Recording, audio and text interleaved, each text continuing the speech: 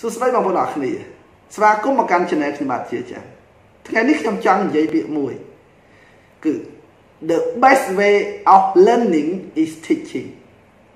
វិធីសាស្ត្ររៀនដ៏ល្អបំផុតគឺការបង្រៀនបងប្អូនអរគ្នាធ្លាប់រៀនអត់ចេះប្រសិនបើធ្លាប់រៀនអត់ចេះហើយចង់ចេះទៅលើប្រធានបទនឹងយកប្រធានបទនឹងទៅបរៀនគេអា បើខ្ញុំរៀនអត់ចេះហើយខ្ញុំទៅបរៀនគេហ្មងបងប្អូនអរគ្នាពេលខ្លះយើងរៀនខ្លួនឯងអត់ចេះក៏ប៉ុន្តែនៅពេលដែលយើងតាំងចិត្តឬក៏យើងមានកាតព្វកិច្ច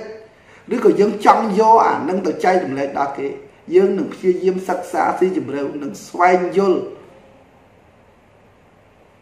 ពីវាដើម្បីទៅចែករំលែកដល់អ្នកដទៃបទពិសោធន៍ផ្ទាល់ខ្លួនរបស់ខ្ញុំកាលពេលដែលខ្ញុំរៀននៅមហាវិទ្យាល័យ ខ្ញុំរៀន accounting principle ខ្ញុំរៀនអត់ចេះក៏ប៉ុន្តែនៅពេលដែលខ្ញុំចាប់បញ្ញាបត្រខ្ញុំបន្ត master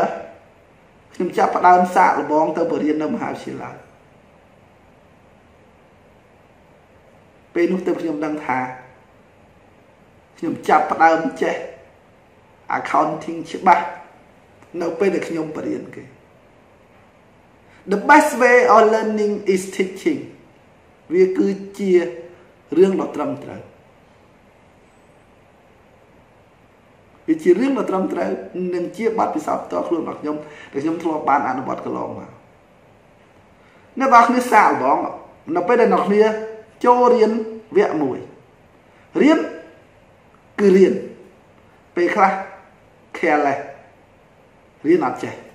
ក៏ប៉ុន្តែក៏ប៉ុន្តែនៅពេលដែលមានកតបកិច្ចមួយឬក៏មេរបស់យើងកំណត់ថាណែឯងរៀនហើយត្រូវយកអានឹងទៅបរៀនក្រុមការងារបន្តឬក៏ទៅត្រូវយកទៅបរៀនគេបន្តចង់ចង់ប្រឹងចង់ចង់ប្រឹងនឹងព្យាយាមស្វែងរកស្រាវជ្រាវបន្ថែមចុងក្រោយលទ្ធផលរបស់នេះគឺចេះពីមេរៀនមួយនឹងបានច្បាស់លាស់ អរគុណច្រើនពីខ្ញុំប៉ុណ្ណឹង